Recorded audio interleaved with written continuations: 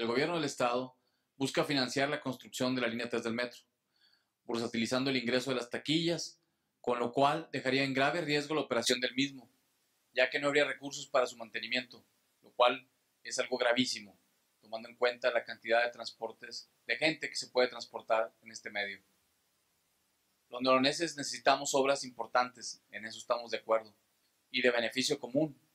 pero sin que esto signifique que un recurso sea despilfarrado o malgastado, y que estas obras aparte tengan un costo excesivo,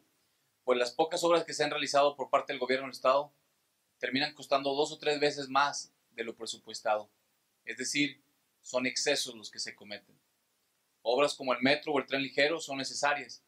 pero se debe buscar una opción que se ajuste a la realidad financiera que vive nuestro Estado. Estamos en crisis financiera y como tal hay que entender que hay que hacer mucho más con mucho menos. Hay que presentar una solución integral a los problemas de transporte que vive Nuevo León. Y la línea 3 del metro, como lo plantea el gobierno del Estado, es un parche solamente al problema. Nunca una solución integral. No nos están ofreciendo una solución integral. Así el gobierno del Estado se suma, suma a esta nueva crisis del transporte, a la ya por sí notoria crisis financiera y por supuesto que a la creciente crisis de inseguridad. Por nuestra parte, el PAN ha presentado una serie de propuestas muy viables, como la construcción de líneas BRT, que son los carriles confinados,